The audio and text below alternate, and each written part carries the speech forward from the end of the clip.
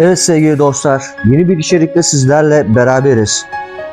Tarihte bilinen ilk kadın hükümdar olan Tomris Hatun hakkında harika bilgileri sizlerle paylaşacağım. Videoya geçmeden önce kanala abone olmayı unutmayınız. İyi seyirler.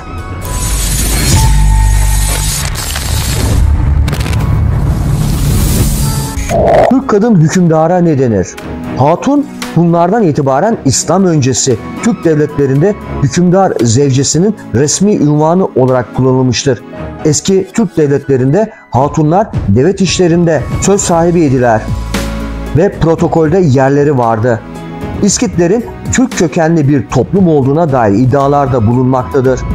İskitlerin kadınları erkekleri gibi savaşa gidip cenk etti ve ok atıp ata bindikleri biliniyor. Hatta Herodot tarihinde yer alan Amazon kadın savaşçıları İskit soyundandır. Kadınların evlenebilmesi için en az 3 düşman öldürmesi gerekiyordu ve sadece bu şartı gerçekleştiren kadınlar evlenebiliyordu. Savaşa gitmeyen kadınlara ise evin idaresi ve sınırların korunması kalıyordu.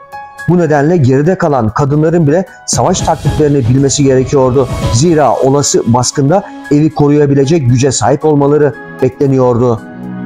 İskit kadınları bu beklenen çerçevede yetiştirilip eğitim alıyordu.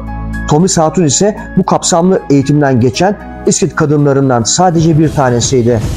Tarihte bilinen ilk kadın hükümdar Tomris Hatun milattan önce 6. yüzyılda yaşamış bir Türk kadını olup Türkleri birleştirerek Turan Birliği'ni kuran ve Turan Kağan'ı olan Alper Tunga'nın torunu olarak bilinmektedir. Peçenek soyundan gelen ve adının anlamı demir olan Tomris Hatun Sakaların hükümdarlığını yapmış ve uzun yıllar tahta kalmıştır. Tomris Hatun tarihte bilinen ilk Türk kadın hükümdarıdır. Önce 6. yüzyılda yaşamış ve Büyük Saka hükümdarı Alper Tunga'nın torunu olarak bilinmektedir. Aynı zamanda günümüzde Tomris Hatun'un hayatı bir sinema filmiyle yeniden gündeme gelmiştir. Saka Türklerinin başına geçerek Pers İmparatorluğunu yenen Türk tarihinin ilk kadın hükümdarı olan Tomris Hatun'un hayatını ve zaferlerini anlatan film Altın Küre ödüllerinde yabancı dilde en iyi film kategorisinde yarışma listesine de girmiştir. Peki Thomas Hatun kimdir? Thomas Hatun ne yapmıştır ve kimlerle savaşmıştır? Ve bu kısa bilgilerle konumuza devam edelim arkadaşlar. Büyük kadın savaşçı ve Sakaların kraliçesi olarak bilinen Thomas Hatun'un 6. yüzyılda yaşadığı tahmin ediliyor. Perslere karşı yürüttüğü mücadelede muhteşem bir zafer kazanmış ve Pers lideri Kiros'u bozguna uğratmıştır. Pers kralı Kiros topraklarını genişletme derdindeydi ve bunun için sürekli köyleri yağmalayıp insanları öldürerek hedefine doğru ilerlediğini düşünüyordu. Kiros'un bölgesinin kuzeyinde yaşayan Tomis Hatun'un yönetimindeki İskitler ise Persler için büyük bir tehdit oluşturuyordu. İskitlerin yaptığı akınlardaki başarılar Kiros'un kulağına gelmiş fakat Kiros kadın hükümdarı pek dengi görmemişti. Diğer devletlere, kavimlere son verdiği gibi İskitlere de son verip topraklarını alabilecek güce sahip olduğunu düşünüyordu. Bu düşünce ile Orta Asya'ya ikinci bir sefer düzenleme kararı aldı ve İskitlerin topraklarına doğru yola koyuldu. Bunu duyan Tomris Hatun ise Kiros'a elçi göndererek topraklarından çıkmasını istedi. Fakat bu isteği karşılık bulmadı. Milattan önce 528 ila 529 yılında yapılan savaş dar bir boğaz geçidinde gerçekleşmiş ve savaşı bizzat kendisi yönetmiştir. Göğüs göğüse son derece şiddetli bir mücadelenin ardından zafer Pers ordusunun ayrıca kendilerinden üstün olmasına rağmen Tomis Hatun'un olmuştur. Tomis Hatun kimin eşidir? Ünlü Türk hükümdarı Alper Tunga'nın torunu olan ve Sakaların anası olarak bilinen Tomis Hatun, kocası Alpa'nın vefatı 6. yüzyılda devletin başına geçerek tarihte ilk kadın hükümdar olmuştur. Tomis Hatun hangi dine mensuptur?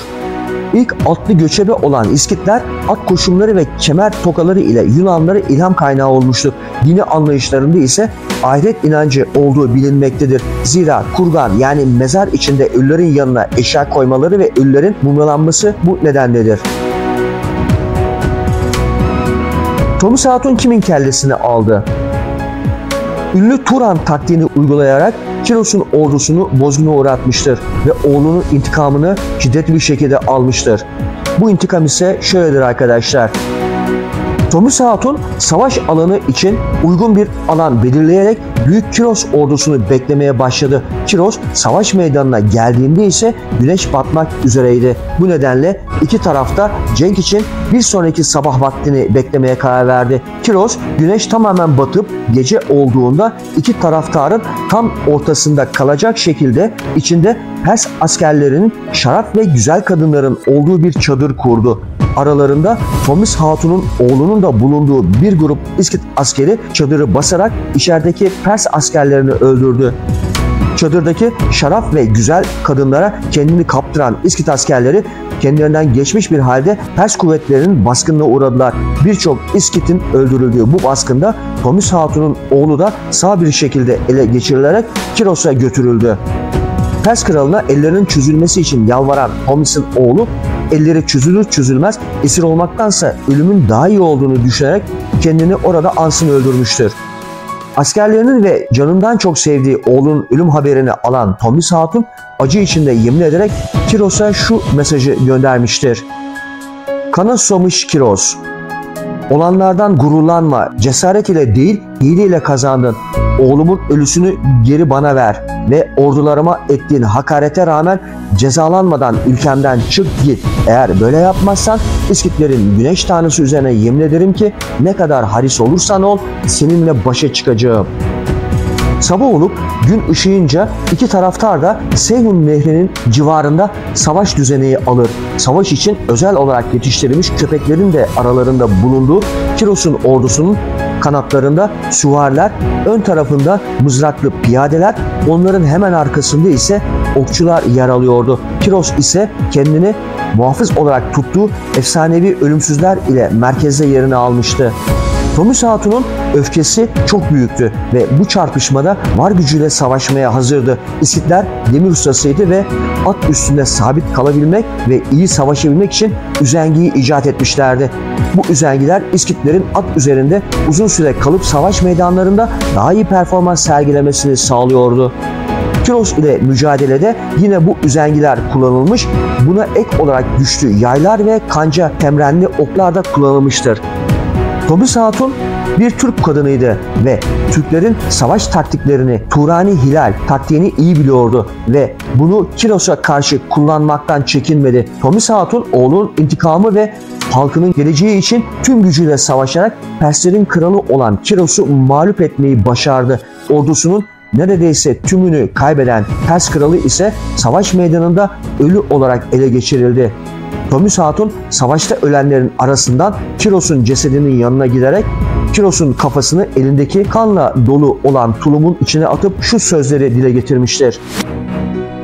Canım sağ ve savaştan zaferle çıktım. Ama sen hileyle oğlumu yakalayarak onu öldürdün. Şimdi sana söz verdiğim gibi hayatında kan içmeye doymamıştın. Şimdi benim elimden kana doyuyorsun demiştir. Sonuç olarak Kiros kendisine ait olmayan İskitlerin topraklarına göz dikmişti. Tomis Hatun'u küçük görerek onu kolay bir şekilde yenebileceğini sanmıştı fakat işler beklediği gibi gitmedi ve Perslerin ilk büyük hükümdarı olan Kiros küçük gördüğü Tomis Hatun tarafından büyük bir savaştan mağlup edildi.